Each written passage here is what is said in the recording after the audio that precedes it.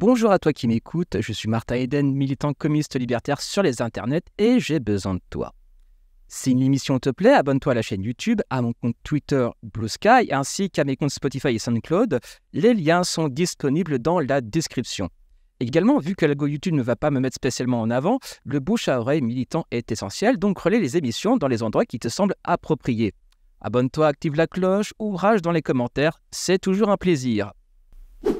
Et donc, euh, pour euh, parler aussi de la résistance pendant la guerre, en fait, comment ça s'est euh, retranscrit par rapport à cette période? Parce que malheureusement, historiquement, effectivement, on est en train de plus ou moins insinuer que ceux qui ont collaboré, c'était plutôt des gens de gauche. Enfin, il y a, y, a, y a, une vraie, y a un vrai relativisme politique et historique qui commence un peu à s'insinuer, je trouve, sur ces questions, de manière un peu inquiétante. Qu'est-ce que vous en avez à dire par rapport à ça? Bon, chose. Bon, la première effectivement, des gens de gauche ont collaboré, ils n'ont pas été les seuls. Euh, de même que la résistance, ça, on y a longtemps cru, mais c'est faux. On pensait pendant longtemps, jusqu'aux années 70, que la résistance, ça avait été essentiellement la gauche, la gauche féministe, c'est complètement faux. Communiste, évidemment, mais la résistance, c'est un mouvement extrêmement minoritaire au départ, qui est de l'extrême droite à l'extrême gauche. Bon, une poignée de gens, euh, je veux dire, ont tous les votes politiques. Bon.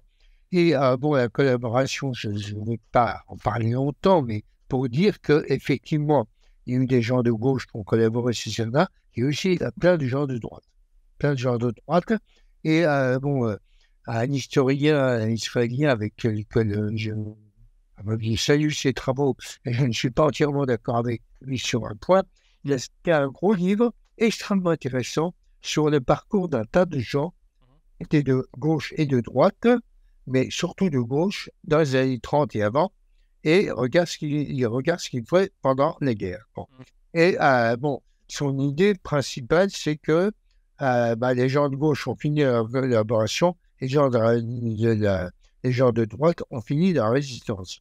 Ça me paraît extrêmement discutable.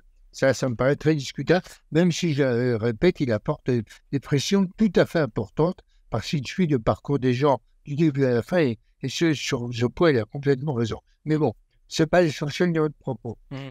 Ce qu'il faut dire d'abord, c'est que par rapport à l'antisémitisme, bon, et ça, ça va faire le, lien avec la libération, c'est que, euh, je vous l'ai dit, on avait parlé la dernière fois, l'antisémitisme a été très fort en France dans les années 30. Il est encore plus pendant la Deuxième Guerre, bon, évidemment. Et euh, bon, euh, vous savez que Vichy promulgue des, un statut des Juifs dès, l'automne 1940, mmh qui va considérablement s'aggraver ensuite. Mmh et je, ne vais pas encore euh, dire tout ça, mais enfin, euh, tout ça est évidemment connu et c'est important. Mais euh, bon, tout ça ne va pas disparaître comme, comme par un bout de baguette magique à la libération. Mmh. C'est-à-dire qu'il y a encore de l'antisémitisme de la société française. J'ai une très bonne collègue, Anne Grabert, qui a publié un article absolument fondamental là-dessus, parce que pendant longtemps, cet antisémitisme a été caché par le fait que la libération, c'était merveilleux, etc. On a raison, c'est très important, nous sommes tous d'accord, mais il y avait quand même des traces d'antisémitisme encore relativement fortes. Alors, je ne parle que celui à gauche. Euh, il faut d'abord rappeler que quand même, la gauche, une histoire à, comment dirait, à aider les juifs sauver les Juifs, combattu pour les Juifs. Bon, c'est mobilisé pour les Juifs. Ça, on ne le dira jamais assez. Et aussi bien dans le Parti communiste, chez certains socialistes, bon, c'est tout à fait important. Donc, les traces d'antisémitisme que je retrouve à gauche à Libération, il y a des traces, effectivement. Il y a quelques traces au sein du Parti socialiste, pas beaucoup, mais enfin quand même un peu. Il y a aussi des traces au sein du Parti communiste qui sont un peu différentes. C'est-à-dire que ce n'est pas de l'antisémitisme, on occulte en quelque sorte le rôle des communistes juifs, beaucoup de vous, notamment des Polonais, qui ont participé à ça, et on, occulte leur rôle, on le diminue, on les met à l'arrière-plan, on les relaye au nom de résistants bien français. Oui, c'est euh, au, nom du, nationalisme, effectivement, de l'union de la nation, parce qu'effectivement, tout le monde sort. C'est un peu l'image que j'en ai la libération, c'est tout le monde se regarde un peu en chien de faïence, en genre, ouais, ce qu'on vient, qu'on vient de vivre, euh, ouais, on n'est pas fier. Donc on va faire comme si qu'on était, euh, voilà, on va, on va se réunir autour de l'idée nationale. On va essayer de balayer ça sur, un peu sous le tapis, quoi. C'est un peu le, sentiment un peu que j'en ai. Il y a, y a un peu de ça, il y a un peu de ça. Et effectivement, euh, bon, pareil, le Parti communiste, encore une fois, il, euh, y a eu vraiment des héros juifs qui ont participé à la très, très fortement au sein de la fiche rouge, au sein du groupe qui était arménien, lui, bah, il y a eu les juifs, il y a eu d'autres, d'autres comment dirais-je, d'autres groupes. On est d'ailleurs, on, continue. On n'a pas, on connaît pas encore toute l'histoire complète de tous les juifs qui ont, qui ont participé, communistes ou non communistes, qui ont participé à la résistance. Mais bon, c'est important. Effectivement, on a un peu tendance à, comment dirais-je, les, euh, comment dirais les au second plan. Avec aussi le fait que, euh, et ça, ça joue dans la gauche, c'est un peu particulier par rapport à ce que je dois dire, euh, par rapport à l'antisémitisme de gauche. C'est quand même un élément. Il faut bien comprendre que le Parti communiste et le Parti socialiste n'ont pas du tout la même conception, la même présentation de rapport à cette histoire. En gros, euh, pour, faire vite, le Parti communiste met en avant son action dans la résistance. Le Parti communiste se présente comme le parti des 75 000 fusillés. Il n'y a pas eu 75 000 fusillés, il y a eu moins de 10 000 c'est évidemment des villes de trop, mais euh, bon, j'insiste très, très largement là-dessus. Et pourquoi? Parce que euh, c'est aussi pour lui un moyen de euh, d'être fort dans la nation, d'être puissant dans la nation. Et vous savez qu'à libération, on est dans une période de reconstruction du pays avec quatre grandes réformes qui sont les nationalisations, la sécurité sociale, les comités d'entreprise et le statut des fonctionnaires. Bon, et évidemment, le PC appuie euh, très fortement, appuie très fortement point. Au contraire, le Parti socialiste qui sait, comment dire, qui a une histoire extrêmement complexe pour les résistants, qui est aussi résistant. Il y a un certain nombre de socialistes qui ont collaboré sous des formes extrêmement diverses. Je ne prends qu'un exemple, celui de Paul Fort, qui n'a pas été d'ailleurs le plus, euh, comment dirais le plus engagé dans la collaboration avec les numéros 2 du parti et qui quand même euh, en gros, accepte Vichy, accepte, euh, accepte tout cela. Euh, j'ai souvenir de Léon Blum, si je ne dis pas de bêtises, qui finit déporté, je crois, si je ne dis pas de bêtises. Léon Blum, par contre, a été déporté à Buchenwald. heureusement, il en est revenu. Mmh. le, Parti socialiste était clandestin. Il n'a pas été dissous à la du Parti communiste. Le Parti communiste, rappelez-vous, il est dissous en octobre 1939 euh, à, la suite euh, et, enfin, est suspendu euh, effectivement à partir de, du pacte soviétique, mmh connaît la, la, pire période de son histoire. Le parti n'est pas dissous, mais il ne fonctionne plus. Il ne fonctionne plus. Et bon, en chanson, il y a effectivement des tendances complètement diverses, c'est-à-dire mmh. certains collaborent sous des formes extrêmement diverses et d'autres s'engagent sous la direction de, de, Daniel Meyer, Daniel Meyer qui est un grand résistant socialiste euh, dans, dans, la résistance. Mais bon, donc, et à la libération, le Parti socialiste fait une sévère purge dans ses rangs, c'est-à-dire évince, élimine, euh, vire tous ceux qui ont participé de près ou de, loin à Vichy. Et donc, euh, bon, on voit donc que le Parti, le, parti socialiste, en quelque sorte, fait un peu euh, comme un profil bas sur cette période. Mmh. il n'en parle pas beaucoup. Alors, on retrouve les questions, mais en avant sur rôle dans la résistance. Vous voyez un rapport extrêmement différent. Et puis même, contrairement à une espèce de... Enfin, j'ai vu ça... Enfin, c'est là où je suis très critique avec l'éducation nationale, voire même avec l'éducation antifasciste et sur l'antisémitisme, etc c'est en fait, enfin comment dirais-je, d'un point de vue un peu, un peu global, c'est pas qu'en France, mais effectivement, vu quand le, Reich est tombé, effectivement, on s'est plutôt concentré sur la guerre froide. Et donc, on ne s'est pas réellement intéressé comment tout un pays a pu basculer dans l'antisémitisme. En Allemagne, par exemple, on s'y est pas vraiment intéressé au nom de la guerre froide. Même Heidegger, dont la sortie de ses livres noirs récemment ne laisse aucun doute sur son adhésion, voire même certains diraient même qu'il a carrément inventé le nazisme d'un point de vue philosophique, en tout cas l'a introduit.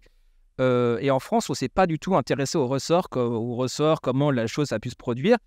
et au nom justement de la guerre froide, des comment dire, et surtout en fait par rapport à la par rapport à la Shoah, tout le monde pense qu'il suffit que les comment dirais-je que que les rescapés aient écrit des livres et on en a parlé aussi, automatiquement, alors que c'est pas du tout le cas. C'est resté un non, c'est resté un silence absolu. Le livre de le Primo Levi, enfin, on peut dire qu'il est italien, mais si c'est un homme, il est sorti bien plus tard, en fait, je crois au début des années 60.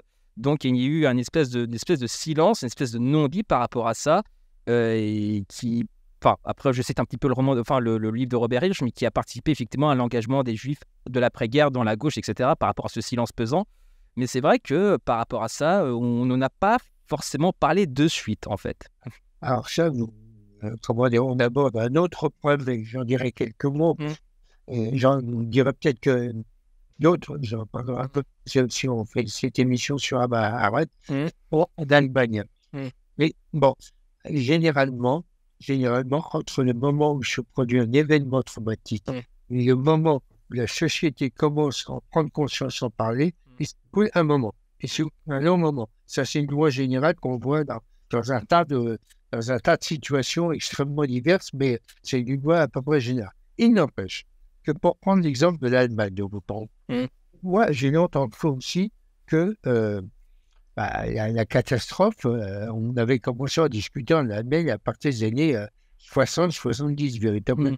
Bon, bah, c'est pas vrai. C'est pas vrai. Et bon, c'est pas vrai. Dans mon livre sur Anna, je me suis servi, mais pas seulement, mmh. avec beaucoup d'autres livres, mais je me suis servi pour discuter de ça un livre publié par Jean Solchani, une thèse, mmh montre qu'en Allemagne, de 45 à 48, j'ai bien de 1945 à aujourd'hui, donc mmh. immédiatement au lendemain de la guerre, mmh. il y a un très large débat qui va de l'extrême droite à l'extrême gauche, des politologues, des historiens, pas beaucoup, des sociologues, des économistes, des juristes, etc., de toute tendance politique, de toute profession, pour euh, s'interroger comment une chose pareille a-t-elle pu arriver. Et c'est très étonnant. C'est très étonnant. C'est immédiatement après les quatre. Bah, en France, il y a, euh, j'ai, pris, en, France, il y a quelques historiens, dont Edmond Vermeil, qui était un homme de gauche, qui est germaniste, qui se pose également la question. Mais bon, et puis, tous euh, comment dirait, toutes ces interrogations ont été en quelque sorte écrasées par la guerre. Mmh, c'est ça. Oui, c'est ça, effectivement, une espèce d'impératif géopolitique, parce que bon, vous me dites que, mmh, je vous crois, il n'y a pas de problème. C'est dans le sens, oui, euh, en Allemagne, ça s'est posé la question tout de suite après. Bah, Heidegger, il, est, il, a toujours eu sa place à la fac, alors que c'était un secret plus ou moins de polichinelle qui, euh, qui adhère à fond. Voilà, il n'a il, a pas été inquiété. Alors que, enfin, après, on peut dire Heidegger, bon, c'est quand même un des philosophes les plus marquants du XXe siècle encore. Il est encore aussi au lycée. Enfin, dans Être étant, dans le livre de Guillaume, dans le livre de Guillaume Fay, l'introduction du nazisme dans la philosophie, c'est bon. Enfin bref, je voudrais pas polémiquer parce que finalement en philosophie, je pas, suis pas spécialement calé, mais euh, si ne serait-ce qu'un dixième du livre est vrai, ça pose de sacrées questions sur les programmes actuels du lycée, en philosophie, etc. Enfin bref, ça pose d'autres questions. Mais c'est vrai que, bah, voire même d'anciens euh, militants SS, bon après je vais citer Chapoutot, qui sont reconvertis dans le management, etc. Enfin bref, c'est bon, il y a eu des débats internes en Allemagne. J'ai envie de dire tant mieux, mais j'ai envie de dire, bah, c'est ne restait que des débats, parce qu'à mon, à un moment donné, il y a vraiment un truc, hein, qui, enfin, enfin bref, euh, c'est, on va dire, c'est un autre sujet. En tout cas, vous êtes invité, on va peut-être pour les gens qui nous écoutent. Anna Arendt, vous avez, vous avez sorti le livre aujourd'hui au moment où on, enregistre. Il est né, on est le 25-04, euh, il est à peu près 15h40. Vous allez, vous voulez, voilà. L'invitation tient pour parler de, votre livre sur Anna Arendt qui est sorti aujourd'hui. pas de problème. Je suis toujours euh, friand de un petit peu de même si c'est une bonne philosophe, mauvaise historienne. Enfin bref. Ah, ah, encore pour vous montrer combien ces questions sont complexes, parce qu'effectivement, euh, la question de la mémoire, du traumatisme de, de, la Shoah, bon, euh, je ne prends, euh, c'était étudié par deux livres très importants, l'un de Annette Viverka, l'autre de François Zoulet, qui ne sont d'ailleurs pas tout à fait d'accord sur tout, mais enfin, qui, qui apportent énormément de choses, qui montrent que effectivement en 45 et après, des déportés qui sont venus ont essayé de témoigner et n'ont pas été entendus. Été entendus. Et maintenant, je vais vous prendre un autre exemple pour montrer combien, deux autres exemples pour vous montrer combien les choses sont compliquées. En 1957, sort le film Nuit et brouillard. Le mot juif est prononcé une fois. Est-ce que c'est par, enfin, on pourrait penser, est-ce que c'est par pédagogie, est-ce que c'est par pudeur, par traumatisme? C'est parce qu'à l'époque, euh, non, c'est, euh, je, ne porte aucun jugement. Mais c'était un petit peu la chape de plomb, quoi. C'était le, silence, quoi. C'est la chape de Autre exemple, autre fait qu'après on viendra sur le bouton. en 1972, se tient à, la Fondation nationale des sciences politiques un colloque sur Vichy. Premier colloque scientifique sur Vichy. D'accord? Bon, pas une intervention sur la question juive.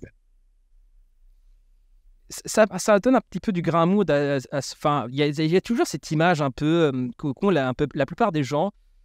C'est un cliché très antisémite, hein, je, précise, mais pour, dans, leur, dans leur esprit, il a suffi que les Juifs ont pleuré pour qu'ils aient gain de cause. Alors qu'entre 1945 et 1995, là où Jacques Chirac a reconnu, euh, comment dirais-je, la, la, responsabilité de l'État français dans, le, dans, dans la collaboration. Il s'est passé, quand même 50 ans. Oui. Donc, euh, à mon nez, c'était 50 ans de combat, 50 ans de lutte, etc., pour faire reconnaître un GG qui s'est plutôt passé proche de nous, géographiquement parlant.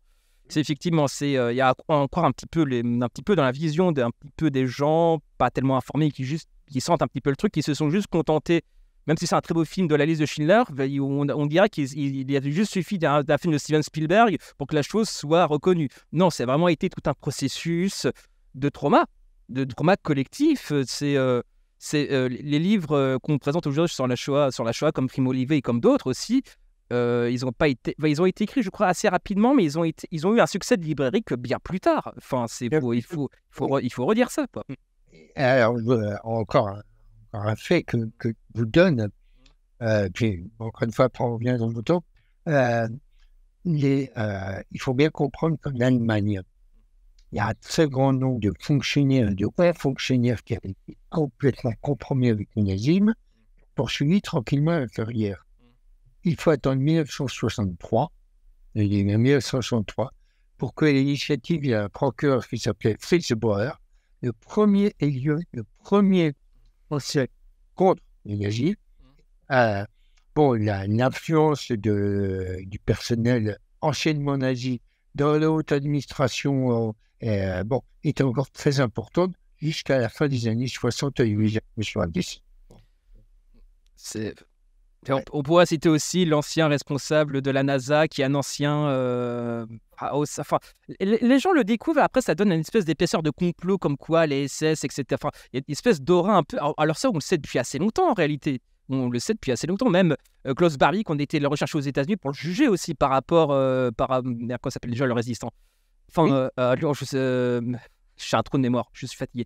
Enfin, voilà, c'est à un moment donné, tous ces faits historiques qui, qui ont. Enfin, qui ont leur importance, notamment, enfin, je reprends aussi le cas d'Eichmann, où tout le monde savait à peu près où il était, mais, c'est, euh, mais euh, le Mossad a été obligé d'agir dans l'illégalité la plus complète pour aller le chercher et le juger aussi. C'est, euh, c'est, enfin, il y a une espèce d'image que, veut que l'Occident, par culpabilité, se soumette au, au des Juifs, vengeurs, etc.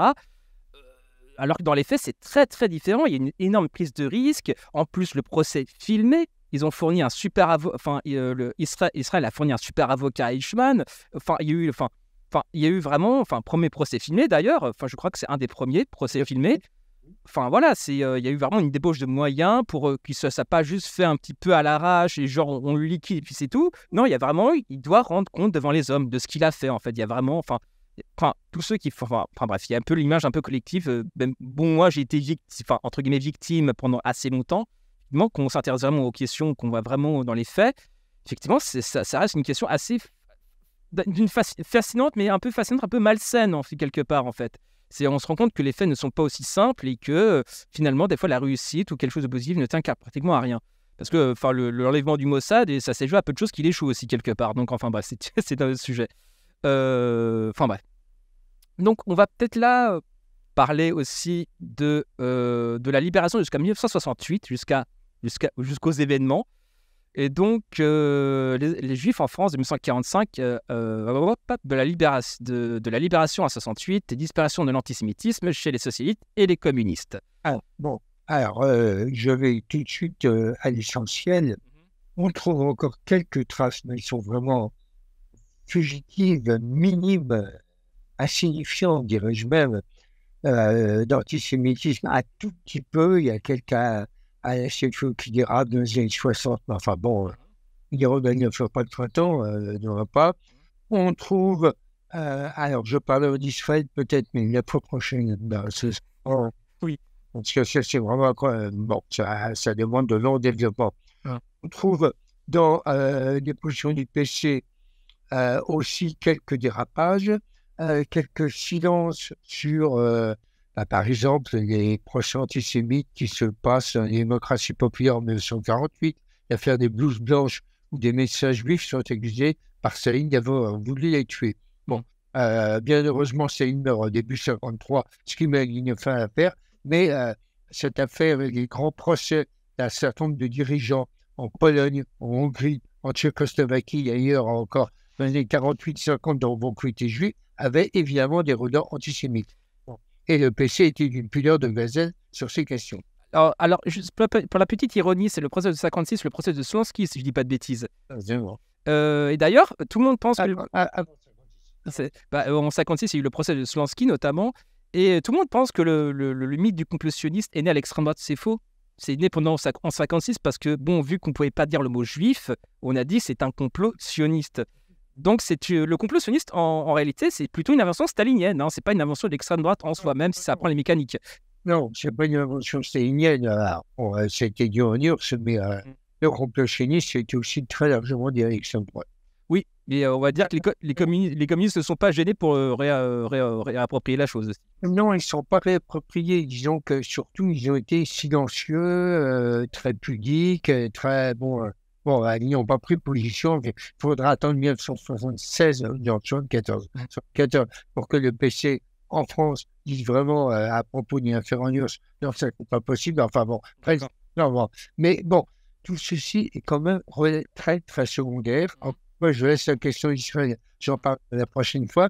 Et euh, bon, on va assister à l'émergence d'un courant alors, qui est à la fois tout à fait nouveau, tout à fait minoritaire au départ, tout à fait étonnant et bon, mais euh, bon, mais il y aura de l'importance aujourd'hui. Alors, de quoi s'agit-il?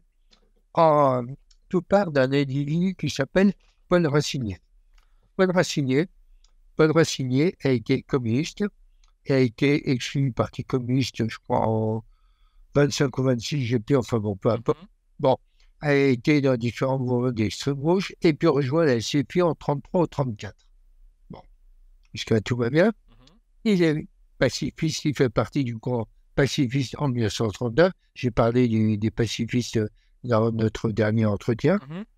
Euh, pendant la guerre, il participe un tout petit peu à l'histoire, surtout il se fait arrêter, il est porté à Buchenwald. D'accord. Il revient, il choisit une carrière politique sur les territoires de Belfort, et manque de chance pour lui et pour nous, ça veut dire il est battu par un certain Dreyfus Schmidt, membre du Parti socialiste.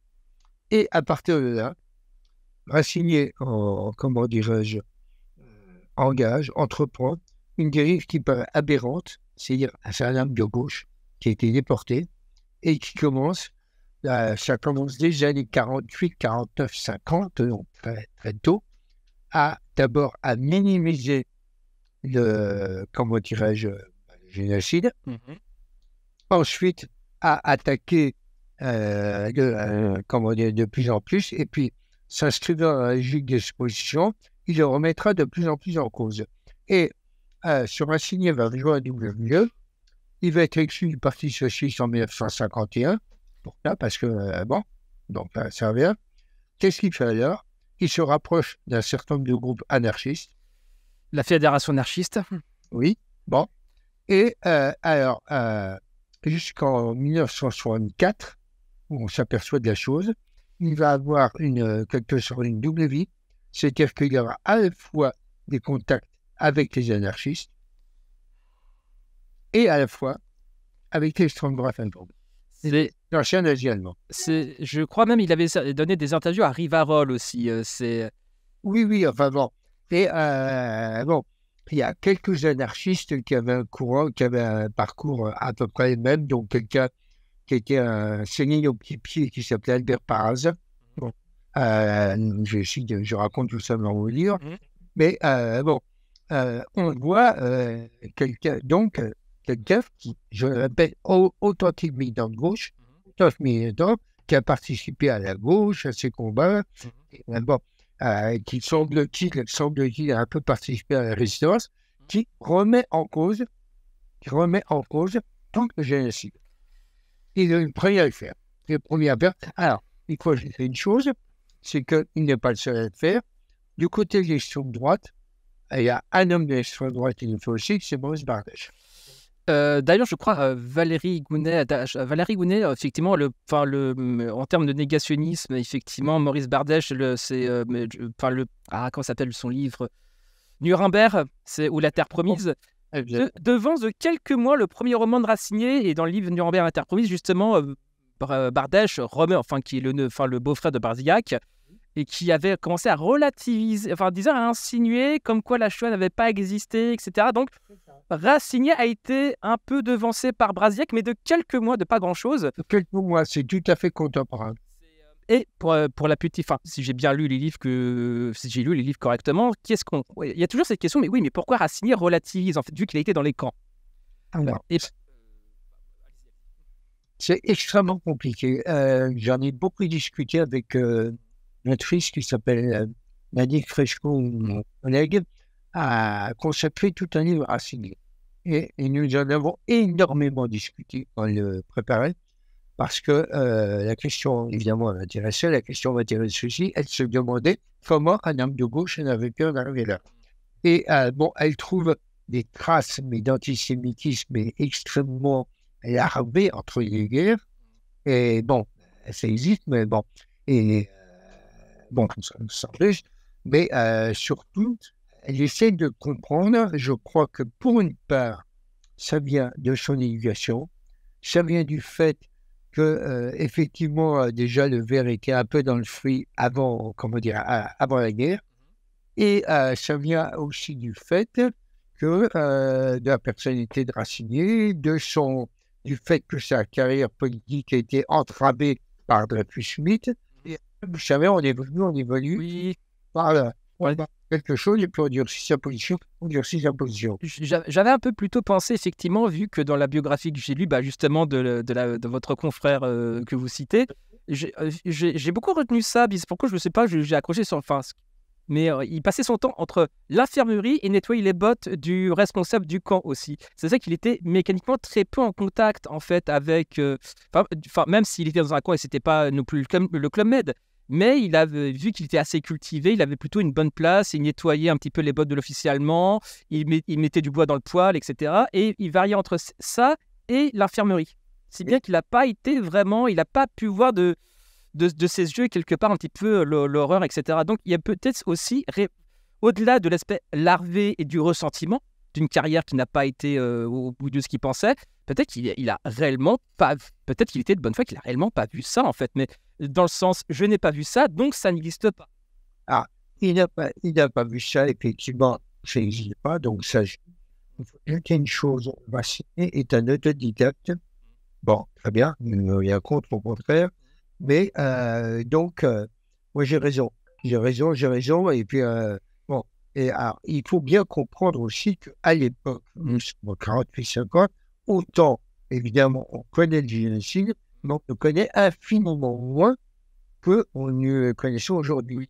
Et euh, infiniment moins. Donc, on sait qu'en gros, il y a eu 6 millions de juifs euh, qui ont été assassinés, et les modalités, on commence à étudier euh, en France, en Allemagne et aux États-Unis, on commence à étudier le génocide à partir du procès Eichmann, en, qui se tient en 61 à Jérusalem. Ouais, euh, 10 ans plus tôt, 12 ans plus tôt, on a encore, on, sait évidemment que, que, cette horreur a eu lieu, mais euh, bon, on en sait évidemment beaucoup, beaucoup moins qu'aujourd'hui. Et à partir de là, euh, même s'il y a des travaux qui ont fait, je pense à ceux de Léo Foliakov, euh, dès, le début des années 50, euh, euh, fort de son expérience et de son ignorance sur bien des sujets, écrit, écrit, et, euh, et puis il a, comment dire, un besoin de reconnaissance, donc euh, mmh. remettre ça en cause, à moyen de se etc. Oui, ça, ça explique ces, comment dire, ces relations aberrantes, à la fois avec les anarchistes avec l'extrême droite, voilà, c'est- personne ne s'en aperçoit. je, je, je- vais être un peu plus cynique. Je crois que la, la, la FA s'en est peut-être dans une, dans une partie, s'en est un peu, s'en est foutu en fait. De, de ce que j'en ai lu, s'en, il s'en moquait. Enfin, il prenait pas attention. C'était pas, pas- c'était pas important quelque part. C'était, euh, c'est oui, c'est, c'est un peu c'est le même truc qu'avec Drummond. C'est oui, mais à travers sa critique de- du machin, enfin voilà, c'est, euh, il, il vise le socialisme à travers un affect réac. C'est toujours, un- toujours le, même tour de passe-passe qu'on nous sait nous faire gober. Mais FA, il faut le dire, les termes ont été complaisants. Enfin, à l'époque, avec ça, dans les années 50, ils ont été assez complaisants. Et d'ailleurs, ce qui n'a pas empêché, moi, ce qui m'a fait un peu, ce qui m'a un peu marqué dans, dans les lectures du livre, même des livres, parce qu'aussi il est dans le livre de Valérie Gounet, c'est qu'il donnait des conférences en Allemagne comme quoi la Shoah était une pure invention face à des gens qui, techniquement, le torturaient, enfin, le, le- maltraitaient dans les camps. C'est ça qui, qui est aberrant. C'est, il est face il, a la sympathie de gens Enfin, voilà, enfin, camp, même s'il était entre guillemets favorisé, bah, ça n'empêche pas les mauvais traitements, ça n'empêche pas les coups, ça n'empêche pas quelque chose qui est vraiment qui est dur. Tu... Mais il, il était prêt à suivre ces gens-là qui l'ont clairement malmené, qui des ennemis au-delà des, des ennemis politiques, des gens qui humainement l'ont foutu dans un camp, etc., qui l'ont limite torturé, voire même qui l'ont carrément torturé. Mais il, il, sa sympathie allait vers ces gens-là plutôt que des. Enfin, ça, ça me paraissait totalement aberrant. Et c'est d'ailleurs durant son procès, c'est la petite anecdote que je voulais passer, durant son procès, l'avocat de la LICRA, si je ne dis pas de bêtises, Oui. a réussi à mettre en évidence le grotesque de sa situation, parce qu'en fait, dans l'interview de Rivarol, en fait, il avait mis en évidence que le journaliste qui l'interviewait, c'était lui-même. Oui. Et c'était, mais alors là, toute la salle apparemment a éclaté de rire. Il était plus pris au sérieux. Et c'est là où, pour le coup, la FA, face à ce procès, pas, euh, voilà, dit bon, on peut suivre le gars, au-delà du fait que le gars, politiquement, euh, voilà, il est quand même assez, assez étrange. Bah oui, le gars est ridicule. On, il sympathise, il enfin, sympathise avec les nazis. On, on le suit plus, mais il a failli limite ce procès pour que les gens, enfin, euh, soient forcés d'ouvrir les yeux. Donc non, des- ce n'est pas un point de détail, quoi. Non, c'est c'est là, c'est présent, quoi. Il, faut bien comprendre que euh, à l'époque, euh, ces débats, ça concerne un nombre tout petit de gens, tout petit. C'est-à-dire que euh, bon, ceux qui s'intéressent à alors bon, il y a quelques contacts dans la gauche, hein, plutôt dans l'extrême, pas dans la gauche trotskiste, impeccable là-dessus, mais euh, euh, dans la gauche euh, pivertiste, socialiste, euh, extrême. Bon, il y a quelques contacts, mais enfin bon, c'est, euh, je veux c'est un milieu tout à fait petit, tout à fait réduit, tout à fait minime, et quelques dizaines de personnes, tout au plus. Et moi-même, euh, je dois dire que, bon, euh, c'est des questions que j'ai suivies euh, après, bon, postérieurement, mais quand j'ai rencontré Nadine Fresco, avec, euh, avec qui j'en ai effectivement beaucoup parlé, je ne comprenais pas pourquoi elle s'intéressait à un phénomène aussi réduit. Voilà. Et bon, euh, j'ai bien changé d'avis là-dessus, dans la mesure où, effectivement, euh, on ne peut pas se contenter de dire que, bon, ça concerne trois piliers du tendu. Il faut voir la dynamique de ces idées.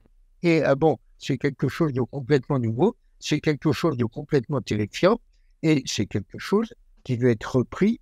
Alors bon, on y viendra plus tard, et euh, bon, qui aura son audience dans la mesure où la négation de la Shoah, euh, bon, va être, euh, comment dirais-je, popularisée. Euh, bah, comme ça.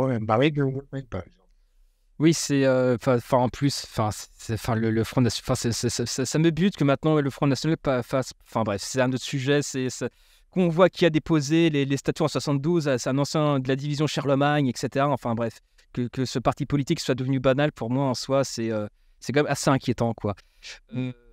C'est. Euh, je, je précise bien, Jean-Marie Le Pen, hein, le Front National avec lequel euh, il y a un désaccords, mais la question n'est pas là, n'a pas la même position là-dessus. Jean-Marie Le Pen, euh, Marine Le Pen ne dit pas la même chose là-dessus que son père. Ouais, disons qu'elle travaille bien sa communication, mais je pense pas que l'électorat ait fondamentalement changé. Bon, ça, c'est c'est un autre, une autre question extrêmement, extrêmement. Bon. Mais euh, disons simplement que euh, la, comment dirais-je, l'argumentation de Paul Racinier, de, de, de Paul va être prise, mais ultérieurement, et la- cette argumentation va s'enrichir, si j'ose dire, parce que le- vous citez à juste titre les travaux de Valérie Gounet, il faut être autorité à la matière, je ne peux qu'y renvoyer les livres. hein.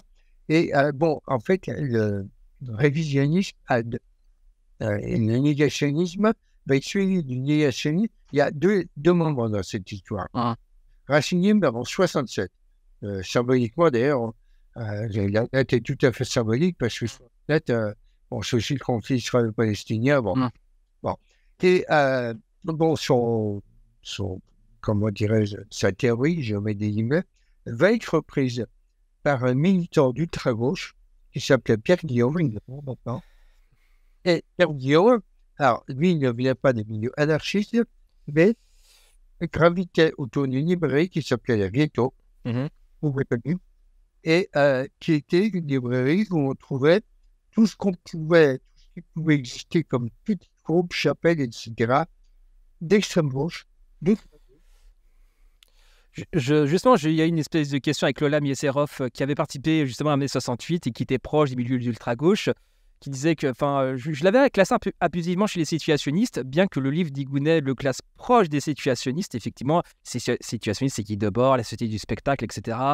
Très courant, très impactant dans les années, euh, enfin, dans mai 68. Effectivement, mais, mais, mais, mais comment dirais-je, Pierre Guillaume n'est pas venu au négationnisme par lui-même, il a été un petit peu euh, initié un peu par Forisson, quoi. C'est un petit peu le, qui a servi un petit peu de, si je dis pas de bêtises.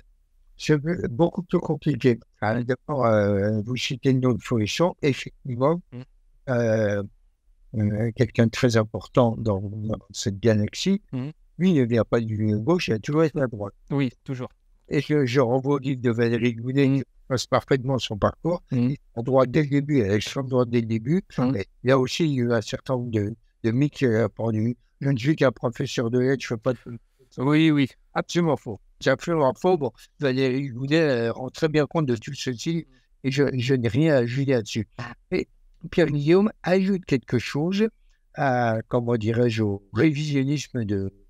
Il prend la succession euh, de, Paul Racinier. Il ajoute quelque chose théorie. Alors, Pierre Guillaume est proche des milieux bordillistes. Alors, c'est. Bon. Alors, pour faire court, on va remonter à la fondation du Parti communiste italien en 1920, Oui. trois hommes, euh, dont Amadeo Bordiga. Amadeo Bordiga. Et Amadeo Bordiga va être exclu du Parti communiste italien à la fin des années 20. Bon, enfin, j'entre pas dans les détails parce que. bah, et et, euh, il va de plus en plus développer une théorie selon laquelle euh, la lutte antifasciste est à l'heure la lutte antifasciste n'a aucun sens et la lutte antifasciste ne peut servir aux capitalistes. Bon. Donc, c'est une démarche, et de ce point de vue, c'est une démarche, par exemple, de l'extrême gauche trotskiste qui, elle, euh, comment dirais-je, a, euh, bon, là aussi avec euh, une nuance, mais reconnaît ceci cette lutte. Et à partir de là, les héritiers de Bordiga vont penser que la Shoah, finalement, est euh, que l'antifascisme, finalement, est un moyen pour le capitalisme de subsister, de conserver son pouvoir, de... de, de- de- oui, oui, et que, euh, bon, euh, que à partir de là, bon, ce que, ce que font, euh, comment dirais-je, au même moment, les Américains au Vietnam, entre autres, bah, ça vaut bien la Shoah et que, bon, finalement, tout ça est dans le même sac. Bon, et donc, Bordiga, et enfin les bordiguistes aussi, c'est trois fois rien en France. c'est- vrai que le bordiguisme, c'est vrai, que c'est un. Enfin, au-delà de renvoyer le fascisme et l'antifascisme dos à dos dans, dans le sens inéquivalence, c'est- déjà, ça n'a aucun sens, déjà d'une. Et surtout, c'est là où je pense que, euh, comment dirais-je. Enfin, J'en ai parlé dans une autre émission dans mon parcours dans le surréalisme, justement où j'avais parlé de Pierre Guillaume. Le bordiguisme aussi, euh, selon moi, a un, autre aspect assez, euh, assez casse-gueule, au-delà de la vision antifasciste complètement claquée. C'est euh, un courant très économiciste il ne voit tout qu'à travers l'économie. Et effectivement, euh, voir, qu'en dirais-je, dans ce prisme-là, monocausal économique, la choix n'a aucun, sens. Pourquoi tuer des gens qu'on peut exploiter? Absolument. Absolument. Et vous avez tout à fait raison de souligner ce point, c'est tout à fait, tout à fait juste. Et de ce point de vue-là, Pierre Guillaume se nourrit certainement de la pensée de quelqu'un dont j'ai parlé lors de notre euh, dans Robert Noujon. Robert Noujon, qui est un millionnaire d'extrême gauche depuis les années 20 même, et même avant, même avant-guerre, qui depuis 1925 anime une revue qui s'appelle la revue Précarité, intéressante, mais qui n'arrête pas de faire des dérapages antisémites. Il a fait lors de la réhabilitation en est censé. Il continue. Euh, je lui fais une passe de choix dans mon ouvrage parce que vraiment, euh. Et effectivement, pour lui, euh, il a une vision très économiste. Ça ne marche pas dans la mesure où, euh, effectivement, euh, il n'y a pas de bénéfice. Donc, il, et comment dire, il oublie, a, à partir de cette vision économiste, il oublie toute l'idéologie nazie, toute l'idéologie antisémite nazie, et bon, qui est absolument fondamentale pour comprendre. Oui, c'est. C'est pour, pour ça qu'intégrer cette question du, enfin, une espèce de l'antisémitisme et plus largement du racisme dans, le, dans, dans les analyses sociales, c'est vraiment voir tout à travers ce prisme économique, ça devient une espèce d'économisme grossier où tout serait froid, mécanique, etc. Enfin, enfin, je dis pas que c'est pas intéressant en soi, mais je dis juste que tout voir par ce prisme-là monocausal, ça devient. Ça... Bah, je, je, pense que c'est comme ça. Enfin, c'est mon, mon avis personnel. Après, est-ce qu'il était, euh, est-ce que Pierre Guillaume était antisémite dans son fort intérieur? Je le dis souvent, j'en sais rien. Je suis, je, je, je, je pas télépathe. Je ne euh, peux pas ressusciter, les morts ni en communication avec lui. Mais à un moment donné, je pense que d'un point de vue théorique, je pense que je vois un peu l'angle gauche sur lequel il a pu se faire avoir en fait. Euh, oui, et enfin encore une fois, cette vision uniquement économiste est complètement, complètement réductrice, donc inexacte. Et, et à partir de là, bon. Euh, euh, Racine reprend en quelque sorte les idées de. Non, Guillaume reprend les idées Racine en les durcissant et on vient à complètement nier l'existence de Shoah, nier l'existence de l'élection et inventer ce qu'on appelle le négationnisme. Un choix dit en passant, ce mot est toujours important de savoir quand étaient forts les mots et pourquoi. Ils ont été forgés en 1987 par un historien, Bouchot, euh, qui, euh, pour euh, bien effectivement, le négationnisme, c'est quoi? C'est nier l'évidence, nier des choses qui ont existé. Je peux vous dire que, par exemple, je peux vous dire, par exemple, que la guerre de 14, non, ça n'a pas existé. Oui. Bon, bon. très bien, pourquoi? Bah, Parce que je pense, bah oui, mais il y a, je rappelle de livres qui. Non, ça n'existe pas. Moi, je le dis, je le pense. Et le problème avec le négationnisme, c'est qu'il n'est pas possible de discuter. Il n'est pas possible de discuter rationnellement, parce que euh, ça, un grand historien qui s'appelait Pierre Villan Naquet, Pierre qui a combattu très fortement avec justement des livres presque euh, révisionnisme et négationnisme des années 80, donc il savait de quoi il parlait, mm -hmm. elle disait, et euh, tout à fait justement, il faut combattre les négationnistes, il ne faut pas discuter avec eux, c'est impossible. D'ailleurs, pour la petite anecdote, Pierre Vidal-Naquet, grand historien, qui a écrit le livre qui décortique la méthode argumentative de, de Forisson et des négationnistes, c'est les Eichmann de papier. Très, très, très bon livre, je le conseille fortement, je le mettrai dans la description. Et pour la petite anecdote, là, sur mon côté un petit peu, il a connu Forisson, alors les deux étaient au, au lycée, à la même période. Oui, oui, mais. Les, déjà, les deux à l'époque ne pouvaient pas se piffer, il hein, faut le savoir. Hein, ils, ils, ils, se détestaient. Mais euh, bien sûr. Et euh, j'ai rencontré il y a très longtemps, je pense 69, une fois Pierre Guillaume, mais évidemment, euh, euh, oui, bien sûr. Mais... Oui, oui c'est. Je crois que. Enfin, oui, c'est pas. De toute façon, dans le, dans le militantisme d'extrême gauche, de toute façon, c'est un petit milieu où on se connaît tous plus ou moins. À...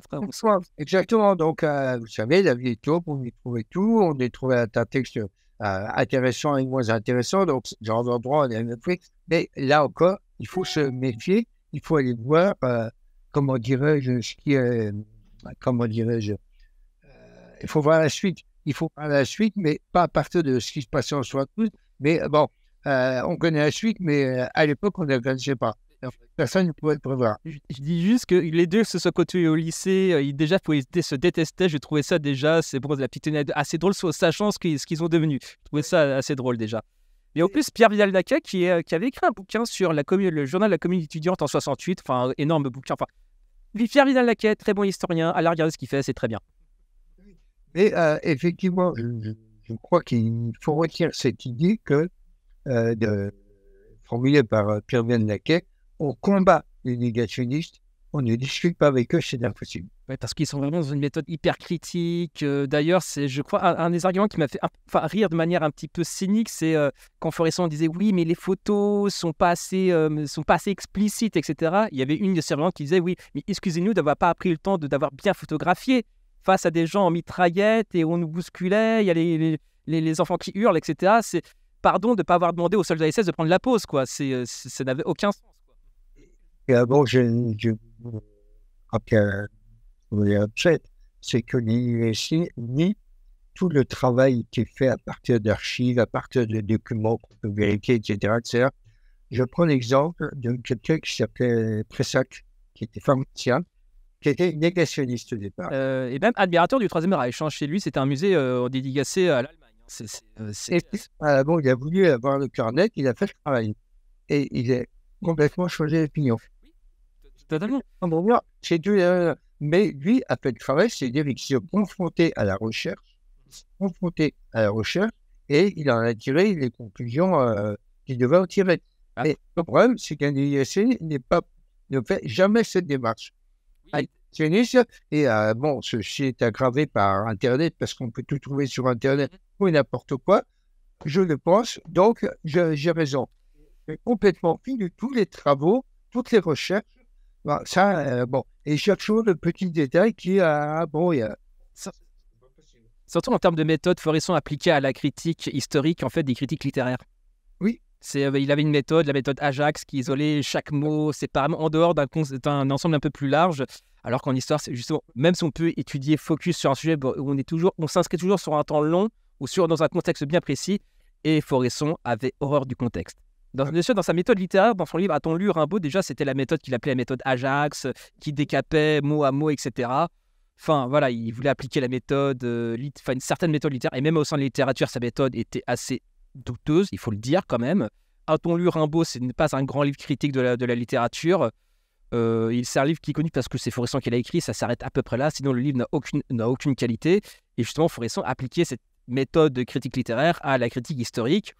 Bon, on peut. Euh, mais après, d'un point de vue un peu plus c'est une méthode hyper critique. C'est toujours remettre en cause les documents. Oui, mais est-on sûr, etc. Enfin, alors que, alors que le, le, gars qui avait le, enfin, le, je sais plus le nom du directeur du camp d'Auschwitz avait avoué euh, noir sur blanc que il avait dans ses propres aveux. Mais après, Foresson disait oui, mais vu que c'est les communistes qui l'avaient arrêté, c'est les communistes qui l'ont forcé à avouer, etc. Bon, il y a toujours un truc qui. Il y, a toujours il, y a, toujours quelque chose. Voilà, on ne peut pas se poser, cette preuve est là, cette preuve existe. Non, il y a toujours un truc qui ne va pas. Et bon, et, bon, mais je, je que retourne. Euh, il faut bien comprendre que le négationnisme, au départ, dans les années 80, 81, était encore une fois quelque chose de tout à fait limité. Tout à fait limité. Hein. Bon. Et puis, et puis, il a connu un certain développement à partir des années 60, la fin des années 70, en particulier à partir d'un interview d'Arquet de Pellepoix, qui avait été, euh, euh, un des responsables du commissaire général de pression juive et qui a expliqué dans l'interview qu'il a un, comment dire, un bruit retentissant qu'à Auschwitz, on avait gazé que des poux. Effectivement, à partir de là, la brèche été ouverte et, euh, bon, le, comment dirais-je, la, la relativisation du génocide a commencé. Commencé pour ça que la critique de la choix des années 80 était. Enfin, Foresson s'attaquait dans cette période-là à l'aspect technique, à l'aspect irréalisable techniquement. Et c'est là où le livre de Pressac, effectivement. Euh, bah, après, c'est le reproche qu'on lui fait. Oui, c'est trop mécanique, c'est trop froid. On a, on a affaire à, face à un livre d'architecte, enfin, de, de, voilà, de, ouais, d'architecte, d'ingénieur. Alors oui, mais parce que c'était l'époque aussi, quelque part, au-delà du, au-delà du fait qu'on parle de, d'unité de manière extrêmement froide, déshumanisante, etc., bah, c'était dans les années 80 après ça a produit le livre qui était en raccord avec la, critique de l'époque. Ça se fait que même l'aspect technique de la choix n'est même plus discuté dans le négationnisme parce que Pressac a apporté la preuve définitive. Donc. Euh, Mais vous savez, comment dirais-je, l'événement génocide est tellement considérablement haut qu'il y a eu des très grandes discussions qui ne sont pas encore terminées mmh. pour les décrire, pour l'expliquer, pour essayer de comprendre. Mmh. Bon, euh, en, gros, pour, pour aller vite, euh, mmh. vite euh, certains ont pensé, certains historiens pensent que, mettre plutôt l'accent sur le fait que dès le départ, Hitler avait ce projet. D'autres, et d'autres pensent que il a plutôt été, comment dirais-je, amené à cette réalisation à partir de la Deuxième Guerre. Oui, c'est les, les, deux thèses entre l'intentionnalité et la structuralité, c'est ça? Bon, bon, Maintenant, on dépasse, on dépasse un peu ce débat, mais enfin, mmh. montrer combien les questions sont complexes. Bon, là, il est normal qu'il y ait un débat là-dessus sur une question aussi complexe. En plus, quand on la regarde, on, trouve, on n'arrête pas de découvrir encore des choses sur la Shoah. Mmh. euh, l'achat par balle en Ukraine, etc. etc. Oui, c'est aussi, oui, c'est. Mais donc, euh, ça, effectivement, la recherche doit aller toujours plus loin. Et c'est-à-dire toute recherche doit être euh, de là à l'année à l'année, ça n'a évidemment rien. C'est, forcément, il y, a- il y a un projet derrière. C'est, on ne nie pas ça innocemment pour l'intérêt historique. Il y a, y forcément un projet derrière. Bon. Et c'est, euh, et après, ils peuvent se cacher. Enfin, c'est, c'est longtemps ce que Soral s'est caché. C'est oui, mais euh, euh, il n'y a pas de crime derrière pensée. Non. Ce qui, f- oui, mais si tu remets en cause ça mécaniquement, le prochain coup c'est ça. Donc, euh, on peut pas juste en mettre en cause ça innocemment. Il y, a, il y a forcément une idée derrière en fait. Et l'idée est assez évidente qu'on a un peu de culture historique effectivement. Oui. Et donc, euh, vous voulez peut-être qu'on s'arrête là, euh, Monsieur Dreyfus, parce que l'heure est en train de tourner? Euh, oui, on va bientôt s'arrêter là. Bon, pour dire que, effectivement, euh, euh, quand même, euh, ces, ces idées nauséabondes ont été d'abord partagées par un tout petit milieu. Et après, elles ont connu une certaine diffusion à droite, à Jean-Marie Le Pen, Mhm. un peu dans les milieux de gauche. Dans les milieux de gauche, le négationniste a, vous faites quand même, surtout chez Julien Mondier, respecté un peu de façon limitée, mais enfin un peu Mm. au milieu des, de gauche et extrême gauche. Bon, maintenant, je crois que la c'est dit, mais enfin bon, il faut savoir que, euh, comment dirais-je, des idées, on ne peut pas uniquement regarder des idées à travers de ce qu'elles disent, mais quelquefois, pour voir aussi quelle est leur influence dans la société. Oui. La- la- comment dirais-je, la, la conclusion de tout ça, c'est que l'influence des idées négationnistes est très, d'abord, euh, très, très réduite, minuscule en France, et qu'après, elle a pris une certaine importance. Ouais, c'est, vrai, c'est vrai. C'est euh, comment, comment dirais-je C'est euh, enfin, c'est, un sujet. Enfin, c'est un sujet tellement vaste. Non, mais c'est euh, et c'est surtout, enfin, euh, cet aspect, enfin, cet aspect vraiment pédagogique, etc. C'est un truc qui, je trouve, qui manque, euh, qui, truc qui manque. Le livre de Pierre Vidal-Naquet sur H- les H-Men de papier, pour moi, ça devrait être un livre qui devrait être euh, plutôt lu quelque part, ou en tout cas questionné, ou en tout cas un petit peu euh, vulgarisé. Enfin, déjà, le livre est très vulgarisé. C'est pas, il est accessible pour tout le monde. Il n'est pas très technique en soi, mais euh, mais c'est. Je pense que j'aurais lu ce livre quand j'étais ado. Je pense que Sorel m'aurait m'aurait pas happé, honnêtement. Oui, je comprends. Je, je pense. Enfin, après, on peut me dire mes parents n'étaient pas très cultivés. Enfin, je, enfin, mes parents étaient des Français moyens, ni plus, ni plus cultivés, ni moins cultivés que d'autres. C'est vraiment le, le Français moyen, on va dire ça comme ça. Mais c'est vrai que c'est, il y a, il y a un côté frustrant, il y a un côté, les infos sont là, les livres sont là, les auteurs sont là. C'est euh, et je, et c'est, pas diffusé. Et puis euh, le, une espèce de chauve qui se revendique nationaliste socialiste peut renouer un petit coup de confusionnisme politique et le truc qui marche quoi. C'est, c'est, c'est bon, c'est bon. Après bon, enfin c'est, c'est, mes regrets, c'est je me suis fait avoir je me suis fait piéger euh, bêtement, mais bon, c'est comme ça. C'est, c'est, au moins, je, au moins, je l'ai pas défendu comme si c'était mon père, j'en suis revenu. Voilà, c'est à un moment donné quand j'ai admis mon erreur. Mais ces questions-là, en fait, euh, politiquement, c'est très. Enfin, je trouve ça, c'est assez. Enfin, c'est, c'est, je vais dire, c'est fascinant, c'est morbide, c'est, c'est, c'est un morbide. Enfin, Racinier, quand, si on dit à Racinier à 18 ans, oui, tu vas devenir. euh, tu vas nier la mort de 6 millions de personnes. Je pense qu'à 18 ans, il lui serait dit, mais non, c'est, pas possible, je vais pas finir comme ça. Mais c'est vraiment, il y a, c'est, il y a une espèce, une espèce de. C'est pour ça que le, livre de Philippe Burin, je trouve très bon. Quand il parle de dérive fasciste, c'est vraiment, c'est vraiment ça. C'est vraiment une dérive, en fait. C'est pas forcément Oui. quelque chose de voulu, d'intentionnel. Ça joue sur des affects, sur des choses. C'est subtil. Quelque part, c'est très humain, enfin, très humain, entre 8 heures de guillemets. Mais c'est, une lente dérive. On se rend pas compte. Et puis finalement, on en revient à défendre des positions absolument délirantes, quoi. C'est, euh, c'est vraiment le mot dérive, pour moi, c'est vraiment un mot extrêmement fort et qui colle vraiment bien avec la réalité, quoi. C'est, euh, c'est, bah voilà, enfin voilà, c'est tout ce que je voulais dire. Sinon, euh, on- je pense qu'on reprendra peut-être un peu plus tard. voilà. Ben, écoutez, je crois qu'on va peut-être s'arrêter là pour aujourd'hui. Oui, je pense que ça serait pas mal. Ouais. Je, je me suis enfin vanté, j'ai fait avoir Paxson, je me suis vanté auprès de vous, je me suis vanté. Et enfin, l'honneur des trotskistes a été sauvé parce que les trotskistes n'ont pas cédé à- au négationnisme. C'est pas du tout, c'est pas du tout lié ou non. Les trotskistes, l'honneur est sauf. Les libertaires, les staliniens, oui, mais les trotskistes, non, voilà, ils sont propres. Libertaire, un, un tout petit peu. Enfin, Euh, bon. Quand même, euh, ils sont- Mais, bon, mais les les libertaires sont chiants. Si en plus ils n'ont pas le cul propre, en plus d'être chiants, où va-t-on? C'est facile de. Voilà. On va refaire. En tout cas, monsieur Dreyfus, je vous souhaite une bonne journée et puis je vous dis à la prochaine. À la prochaine. Au revoir. Au revoir.